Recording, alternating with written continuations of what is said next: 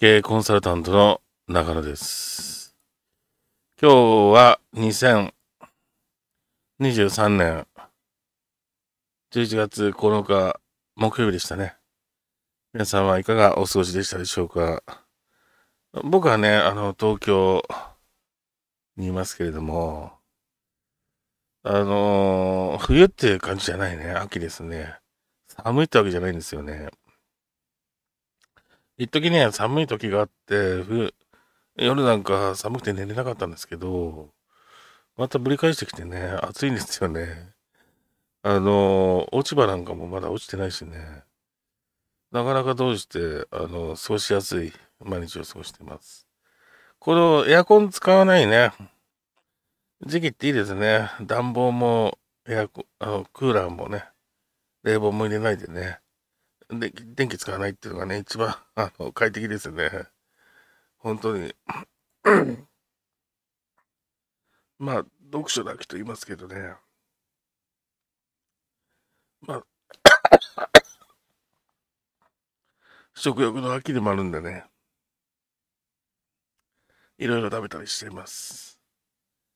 あの、やっぱりね、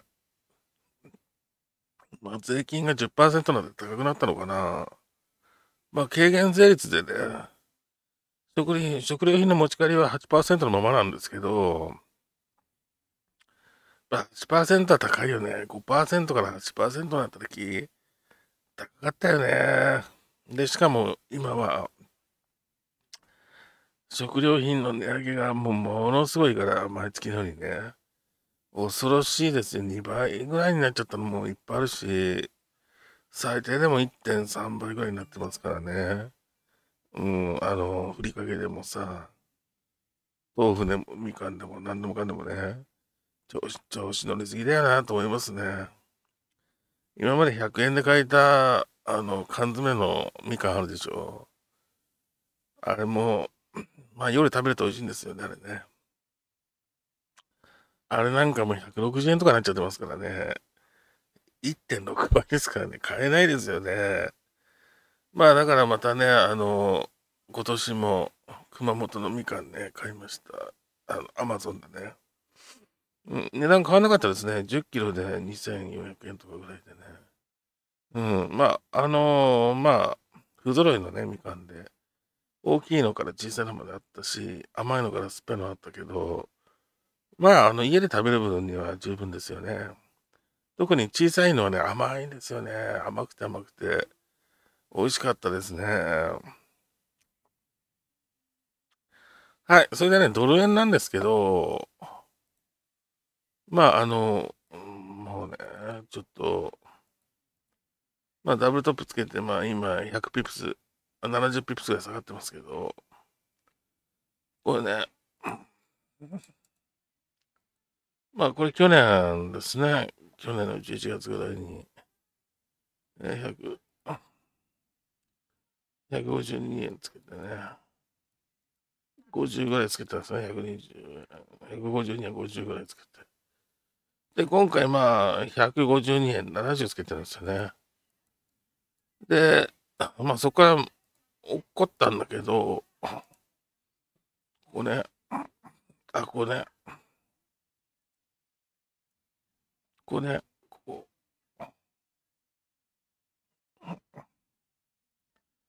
ここが152円。ダメか。まあ、70ぐらいですね。ここはね。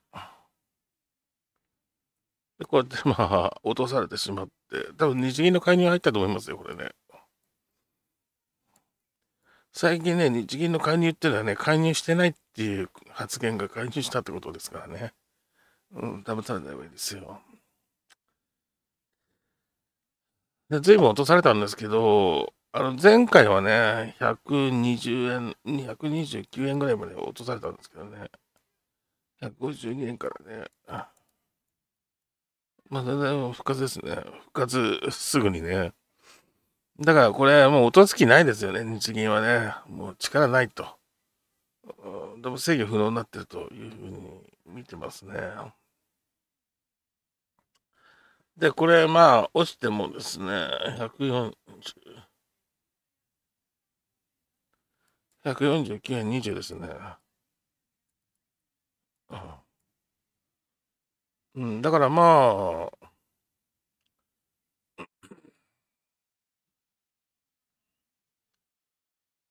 そうですね、3円50銭ぐらい落ちたのかな。3円50銭ぐらい落ちたんですね、これね。でもね。3.5落ちたんですかね。うん。で、またじわじわじわじわこうやって上がってきて、これずっとロングにすればよかったんですけどね、まあ、こんなのがって下がるから、いちいち利確とか入れちゃうんですよね。うん。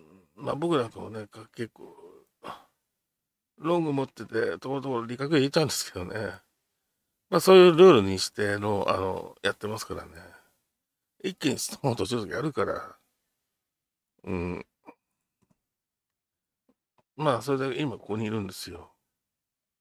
で、これがどうなるかと。問題はこう151円いってますからね。まあ昨日、今日の朝5時ぐらいから151円いってるんですよね、これね。ここら辺でね。ここら辺でね。で、これどうなるかってことなんですけど、まあ、151円容認ですね、これね。なんで、上ですね、これね。うん。まあ、一分足でね、トレードしてもしょうがないので、どうなるのって話ですね。これがまあ朝の5時ぐらいですね、朝のね。ギューっていって、プソーンと落として、またぐーっと上がってきてね、夕夕方にかけてね、ぐーっと落ちるんだけど、まあ行くと。で、まあもう今ね、時間的にはもう16時30分なんで、あ、18時ですね。やらないわけですね。18時30分なんでね。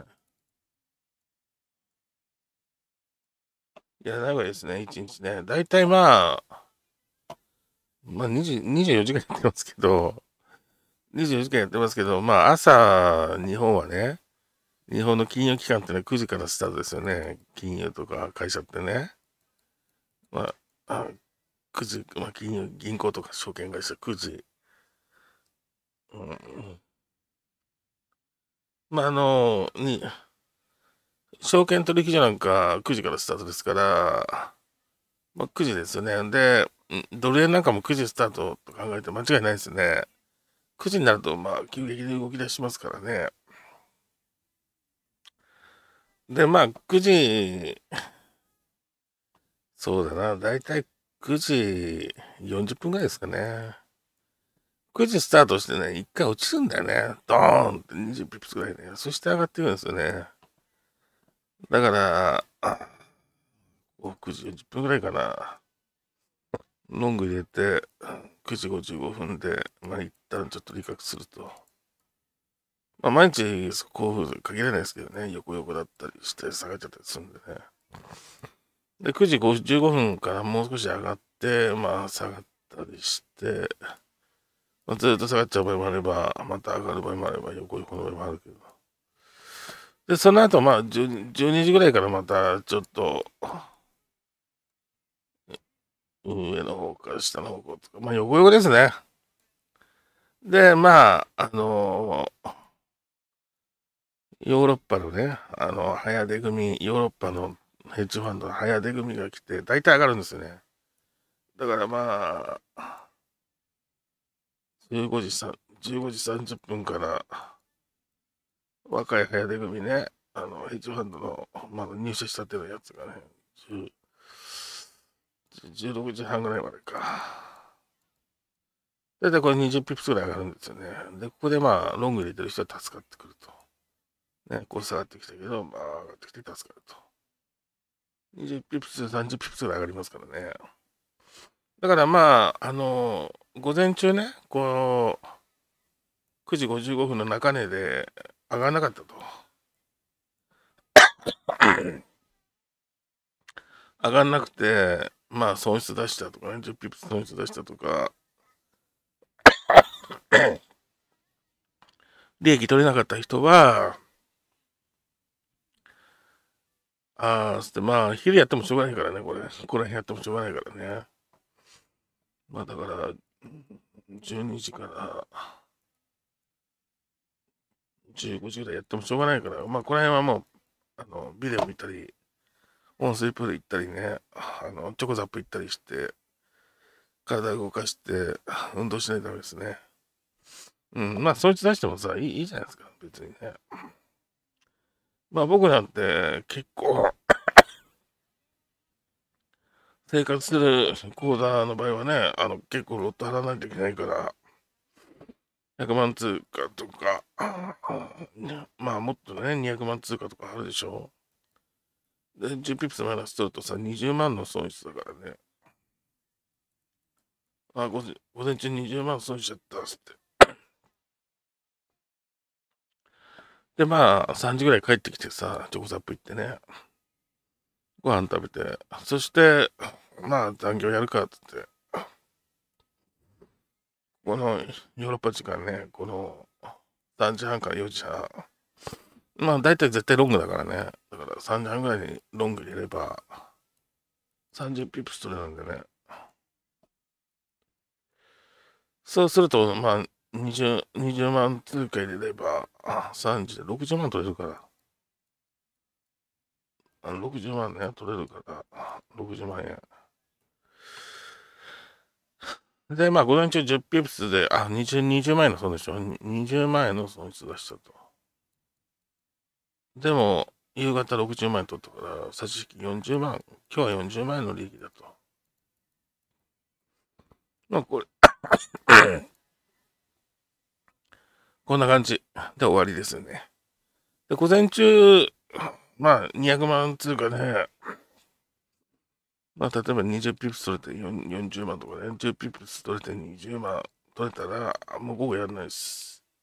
やらないです。もう終わりです。ここで終わりですね。まあ、9時55分とか、まあ、もう少し伸びてね、10時半とか、あの11時ぐらいですね。で、まあ、伸びて、伸びきって終わりと。上上まで行っていくって終わりと。まあ、最大でも11時ぐらいで終わりにして、あのチョコザップ行ったり、温水プール行ったり、あの本屋さん行ったり、図書館行ったりね。まあたどっかで昼寝したり、喫茶店行ったり、カフェ行ったりね。あのご飯食べに行ったりして、まあ、午後はやらないです。一切こう見ないしね、昼間も見ないし、こう見ないですね。まあ、まして夜は絶対やらないですね。ああの、アメリカ時間やってもしょうがないからね。大きく伸びるけど、大きく伸びるけど、大きく損失を出すこともあるのでね。あもう絶対に損失を 出さないってことをね、あの目標に立てれば、あの、アメリカ時間は絶対やっちゃダメですね。損失を出さないっていう発想でやっていかないといけないですよね。そうすれば、あの、どんどんどんどん資本も溜まっていくしね。ロット数もどんどんどんどん、まあ、1回でね、500万通貨とか入れられるから、500万通貨までね、一発ポンって入れられるからね。で、500万通貨でさ、10ピプス動けば50万取れるんでね。20ピプスも動けば100万だから、毎日100万だから。で、楽ですよ。で、まあ、今日、でね、あのー、まあ、基本があってね、その前に基本があって、えー、朝起きてね、あ、ちょっと頭痛いなとか、喉痛いなと。ちょっと風邪ひいてかなとか、喉痛いなとかさ、頭痛いなとかあるじゃないですか。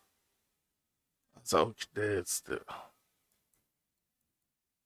なんかお腹痛いなとかね。うん、こういう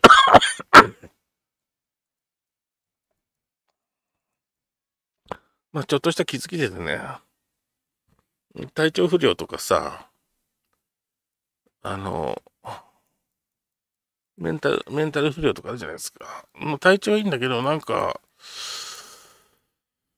なんかめんどくせえんだよなとかさ、あの、あるじゃないですか。な、なんか、ちょっと、あの、夜、夜ネットフリックス見、見すぎちゃって眠いとかあるじゃないですか。眠い、眠いとか。とか、雨が降ってるとかね、雪降ってるとか、あの、雨降ってて嫌だなとか、嫌だなとかさ、に二度寝したいとかあるじゃないですか。ああ、今日二度寝したいなーって。二度寝したいとかあるじゃないですか。こういう場合は、やらないですよ。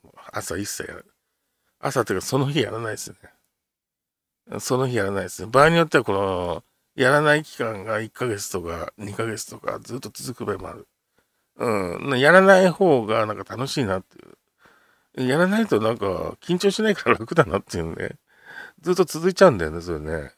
YouTube やらないと楽だなっていうのと一緒でさ、あのー、あ、これ FX やんない方が楽だなっていうのね。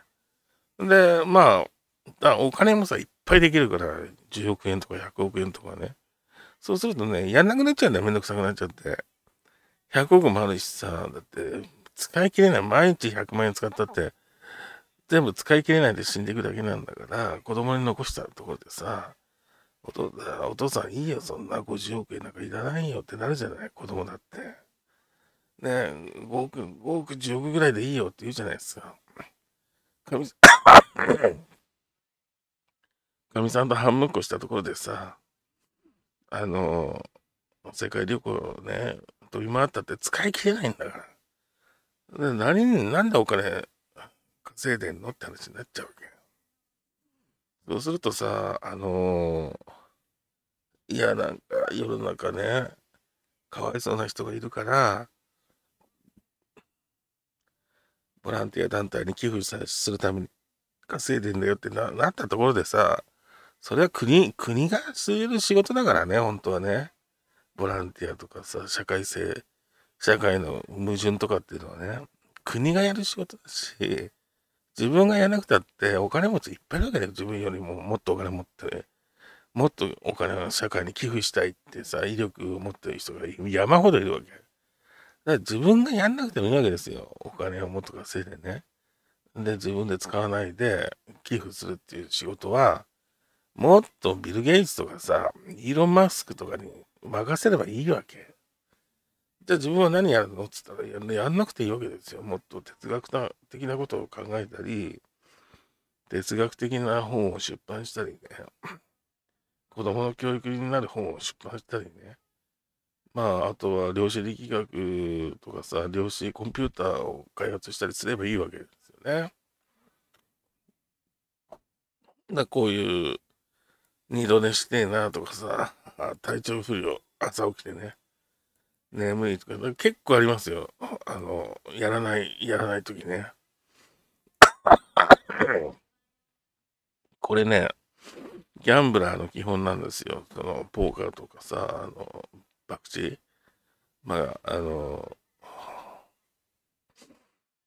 あの、ギャンブルのプロ、うん、例えば、パチン、パチン、パチンカーは、どうかわかんないですけど、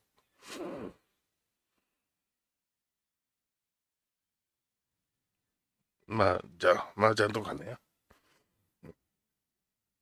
ダラスベガスなんかって基本なんですけど、今、あの、自分のね、自分の近くに、えー、守護霊が来てるかどうかなんですよね。守護霊がまあ離れちゃう状態だと絶対に勝てないから。あ人間っていうのは、ね、一人で生きてないんですよね。じゃあ、まあ、生きてるね。みんな後輩、先輩、先輩後輩がいてね、初めて生かされてるっていうね、のもあるんだけど、生き量っていうのはね。まあ、あとあれですよね。あの 死んでいった諸先輩方のあの見守あの世で見守ってくれてね、悪霊から 身を守ってくれてると。悪霊からね、魂を守ってくれてるっていうのがあるから、悪霊が近づいてくると、当然まあギャンブルだから負けちゃうわけですよね。まあ仕事なんかもうまくいかないわけですよ。悪霊が悪いことすっからね。でも悪霊さえいなければさ、普通にまあうまくいくわけです。で、しかも、うん、迫力がいなくて、守護霊がいればさ、少しは手心を加えてくれてね、しょうがねえな、今回も勝たしてやるかというなるわけですよね。ひらめきっていうのが湧いてくるわけですよ。だから、ギャンブル、所詮 FX もギャンブルだから、仮想通貨もね、ギャンブルだから、未来のことはわからないわけ。ビジネスも全てギャンブルですよ。未来のことですからね。ただその未来のことを少し確率度を高くするためには、やっぱりね、ご先祖様の力も借りないといけないわけですよね。で、まあ、ご先祖様今日いないなと思ったりね、悪霊がいるなと思ったら絶対やらないですよね。負けるから。絶対やらない。はい。ほんで、やるとしたら、まあ、朝の中根の時と、中根でうまくいかなかったら、しょうがない。あとは、まあ、チョコザップ行って時間潰して、えー、3時半、3時ぐらいから始まるですね、あの、ヨーロッパ時間の早出組ですね。まあそこを狙ってくる。んで、早出組は、あ、ロングですね。で、そこから突き落としてくるからね。それはやらない方がいいですね。まあそれで終わりです。で、2回ともダメだったら、まあやめると。ね、2回しかないから、チャンスはね。はい。で、これね、あのドル円はね、上ですね、これね。まあ、あのこれ、週足ですけど、75移動平均線で必ず、あの上向いてます。んで、これね、あの移動平均線の帰りが今激しくなってるんで、あの、下がるよね、これね、一旦ね、かなり。うん。かなり下がるんだな、これね。で、どのぐらい下がるかというと、うん。6円80ピプスですね。680ピプス、680ピプス下がる。だから100、140、142円ぐらいまで下がるね。今151円だもんね。100、143円か。だいぶ下がりますね。じゃあ今、今、ショートでやればいいのかってそうじゃないからね。あと200ビップスぐらい上がってから下がるかもしれないから。タイミングが問題ですよね、やっぱりね。うん、下がることは下がる。上がるにしても下がる。うん。1回、2回、3回で、1回、リセットかけて、ここからまた1、2、3ですね。うん。でも上がるのは上がる。あと200ピープスぐらい。だから153円まで上がって、こうだな。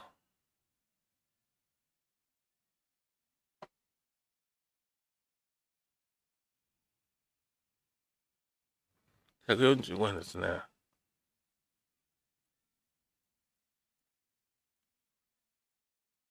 153円まで上がって145円まで落ちる。で、これは800ピプスで下がるね、これね。800ピプス下がって、また上がっていくって感じですね。まあ、こんなぐらいでいいと思いますね。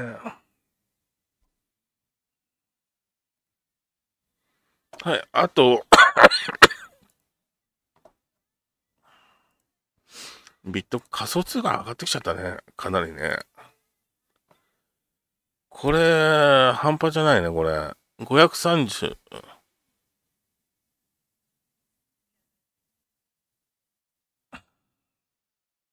え、555円あるよ。555円あるけど、ちょ、ちょ、ちょ、ちょっと、あ、前、3回目の高値と同じとこまで来たんだね。いやいやいやいや、あの、これでさ、見てわかる通り、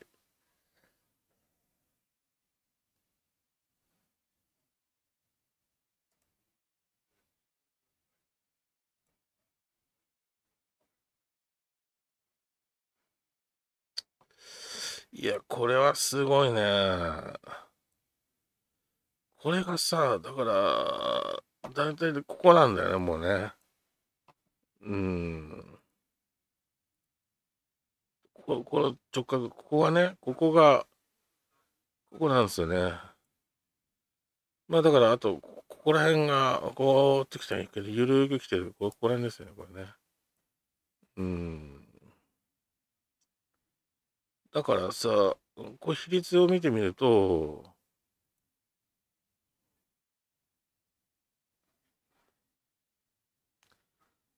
101から197か。101だろ ?96 ですよね。で、ここはさ、ん？ん ?400 万で、あ、そう、わかんないのか。だから、ここか。221か。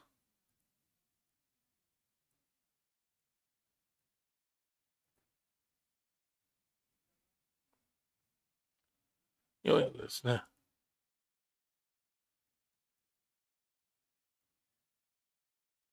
あ、これ、ゼロでいいか。